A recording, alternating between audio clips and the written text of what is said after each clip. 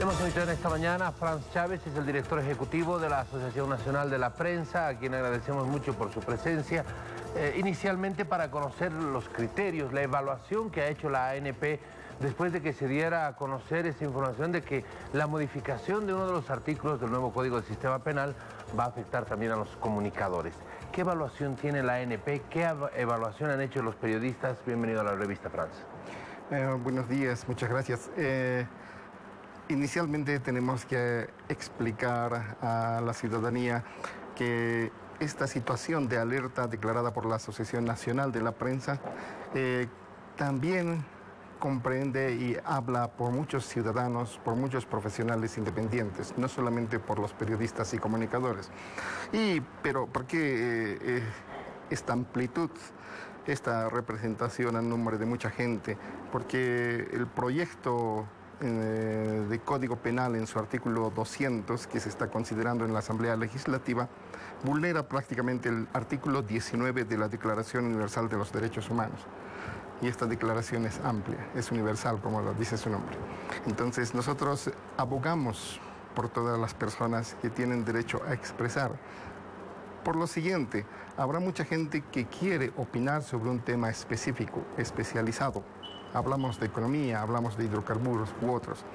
Entonces, si emitiera un criterio y un juez considerara que ese criterio es inapropiado, puede ser sancionado con reparación económica, e inhabilitación o hasta cárcel. Ese es nuestro mayor temor. Entonces, por ello es que nuestro reclamo eh, no es precisamente solamente por periodistas y comunicadores, sino por toda la ciudadanía en virtud de este derecho humano, el derecho a la libertad de expresión. ¿Qué es lo que se está buscando? ¿Qué es lo que se quiere cuando se anuncia que la modificación del artículo 200 va a afectar también a comunicadores y periodistas? Pues, eh, ¿Qué creen ustedes que está detrás de esto?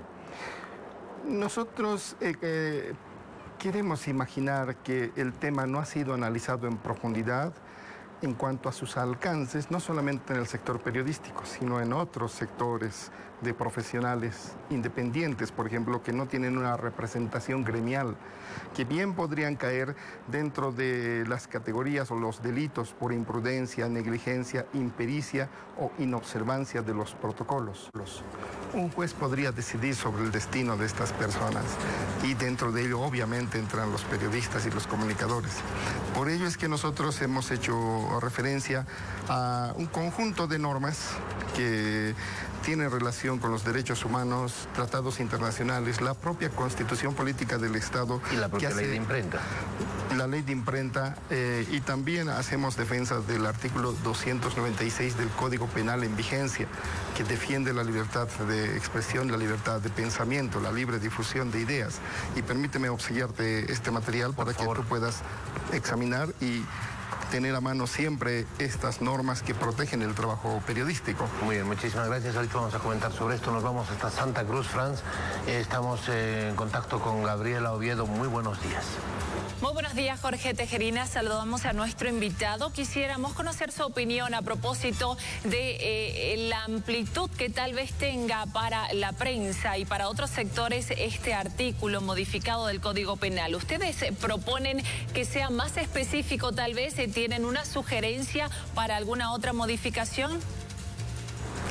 En cuanto se refiere eh, al trabajo periodístico en particular, uh, sí, deseamos que se haga una precisión que se reitere y se ratifiquen los principios constitucionales que hacen referencia a la libertad de expresión, la libertad de opinión y también la libertad del trabajo periodístico. Son normas que protegen el trabajo de los comunicadores y periodistas y en realidad también es una protección para todos los ciudadanos. Ese es el espíritu que nosotros defendemos y esperamos que se haga esta precisión dentro de este artículo. Que así como se convocó a los médicos para tratar este artículo, la Asamblea debería convocar a cada uno de los diferentes sectores implicados en esta norma para tratar de consensuar y tener una retroalimentación a propósito de la redacción. Esta norma es muy amplia, muy general. Por ello es que nosotros afirmamos que comprende a muchos sectores, no solamente a comunicadores y periodistas. Por lo tanto, debe haber un debate, deben haber correcciones a este artículo, eh, debe haber amplitud de criterio y un deseo de la Asamblea Legislativa y sus principales autoridades de escuchar a la población y evitar la aplicación vertical de una norma.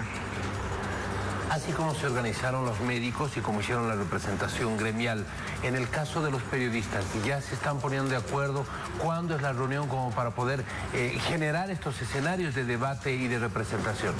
Sí, eh, estimado Jorge, la Asociación Nacional de la Prensa agrupa los principales diarios y medios impresos del país. En este ámbito es donde se ha examinado esta ley. Eh, no hemos tomado contacto con las organizaciones periodistas, periodísticas. Sin embargo, nosotros hemos ido a la defensa del principio. Vamos a la defensa del principio. Y la defensa del principio, en este caso, eh, ya no admite debates porque la Constitución y los tratados internacionales, así como la ley de imprenta, eh, son claras y específicas en la defensa de estos principios y, y abogamos por ellos, precisamente. Gabriela, hasta más adelante. Hasta un próximo contacto, Jorge Tejerina. Muy bien, si bien la ANP agrupa el tema de los periódicos, una agencia de noticias, ¿se van a hacer contactos con la APLP, con las asociaciones departamentales, con sindicatos, con federaciones? O sea, hay que abrir el abanico. Alguien tiene que hacerlo. ¿Quién lo va a hacer? Desde luego que sí, nosotros siempre hemos estado amplios.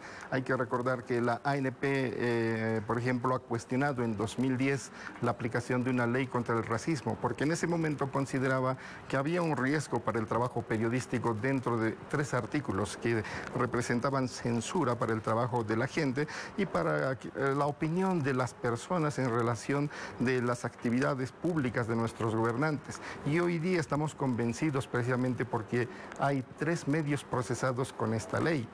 Y no sabemos de alguna persona que haya llegado hasta la cárcel por la aplicación de la ley contra el racismo. El periódico El Diario, el periódico Página 7 y la agencia de noticias Fides siguen procesadas por esta norma. Por ello es que ahora también nos anticipamos y pedimos una modificación de ella y obviamente eh, con la mayor amplitud y con el mayor deseo de que otras organizaciones se sumen a este reclamo. Muy bien, artículo 200 del nuevo Código de Sistema Penal todavía en tratamiento. Eh, tendrán tiempo las organizaciones periodísticas como para organizarse, reunirse y hacer la representación gremial correspondiente. Eh, en todo caso, esa era la, la, consulta. Muchísimas gracias a Franz Chávez, director ejecutivo de la ANP, por haber estado acá con nosotros. Yo periodista.